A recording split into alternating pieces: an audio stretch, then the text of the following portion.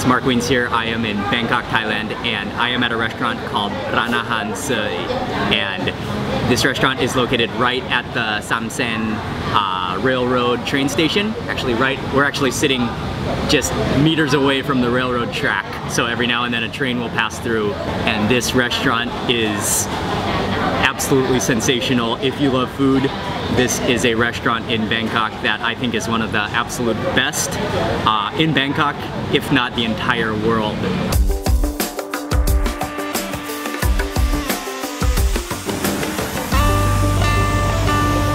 P'Soei is the chef, the owner of the restaurant, and you can see all around the kitchen there are just photos of him uh, playing football and rugby and he also was a coach and he played basketball so sports and good food, I think they go hand in hand together. Uh, but another impressive thing about uh, about Ranahan Soei is the fact that he, P'Soei, is the only one who actually cooks the food here. So this is a huge restaurant. There's probably like 30 or 40 tables at this restaurant, but he is the main chef. Nothing goes through the kitchen without passing through his hands. And so he just absolutely just babies the food and makes sure that everything is perfect. Quality control is so high and he definitely has my ultimate respect. Just an amazing chef in the world. As I understand, he used to invite all of his former teammates over and then he would just cook up for them and they would just love the, the strong and the pungent, marvelous flavors that he would that he would chef up.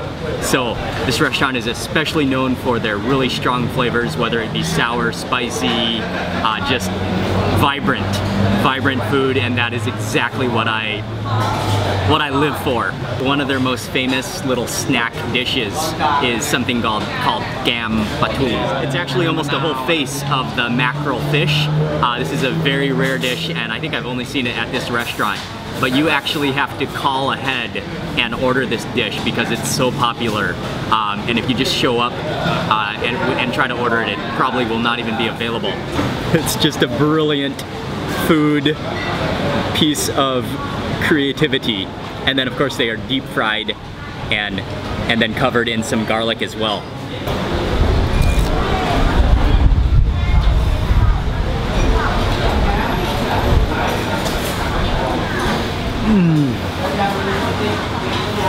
Oh man, that is ridiculous. It's like a fish cracker. Boing.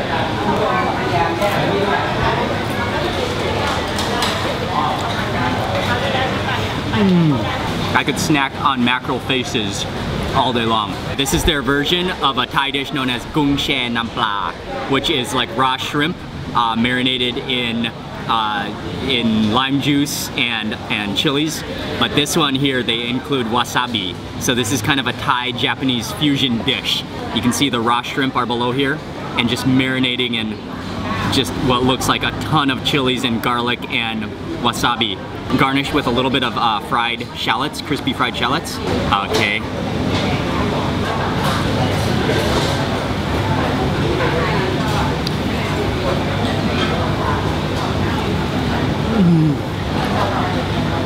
Oh, and you gotta garnish with this, with this herb. That wasabi is burning all the way up my nose. The shrimp are just slightly cooked from the lime juice, uh, from that acid and the wasabi.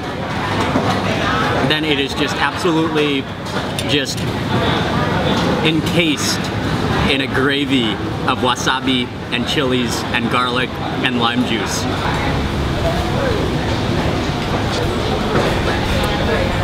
Mm. Oh, that burned. That just exploded up my nose. That is some serious wasabi. I'm probably slightly tearing. I'm gonna put some rice onto my plate. I'm gonna go straight in for the chuchi batu, which is like a, a mackerel curry. Oh, he looks crispy.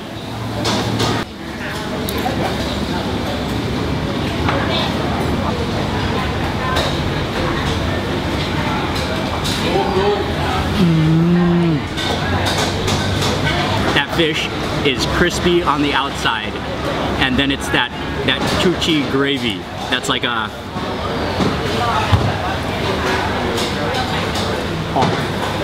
It's just a harmony of flavors. It's so creamy, milky from that coconut milk. And then it's sweet, lightly sweet. Uh, it's spicy.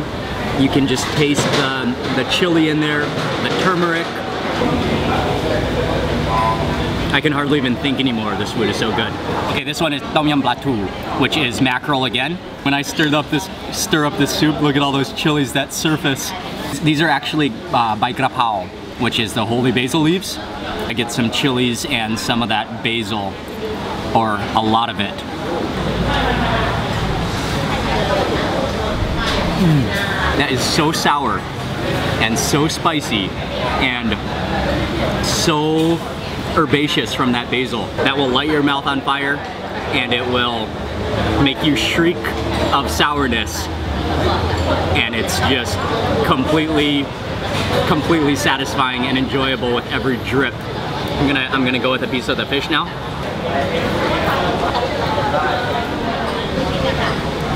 This dish is called pla goong pao. The shrimp are first uh, grilled or roasted, and then they're sliced in half, and then they're just covered in a in a bounty of garden fresh ingredients. There's lemongrass, there's garlic, there's shallots, there's chilies, there's tomatoes. And you can see this guy, he had, look at all that shrimp head oil and it almost looks like mustard.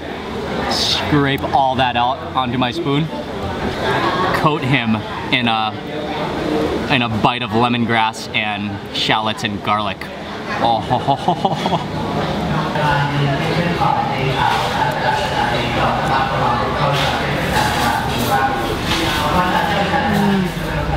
I actually need a moment of silence for this meal. This food demands respect from any food lover. That combination of ingredients is is brilliant. That is ridiculously good.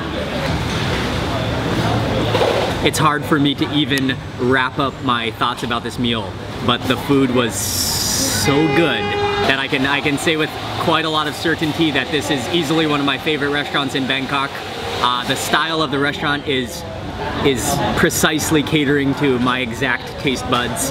And if you love strong, pungent, marvelous food, uh, this is a restaurant you actually cannot cannot afford to miss. The food is actually so good that my wife Ying took a bite of the chuchi patu and and I was I was actually taking photos of the food, but she took a bite and I saw her make the face of delicious, the delicious head swing face. I actually saw her do that. I don't think I've ever seen Ying do that before. She took a bite and she was like, mmm. And I think that explains it all. Um, she loved the food just as much as I did. I don't know what to tell you, but if you are a food lover in Bangkok, make the trip to Soei restaurant Ahantini arroy Makmak krap. We pretty much cleared this entire feast in silent, um, in silence, Ying and I. Uh, although I was probably moaning the entire meal, moaning with delight.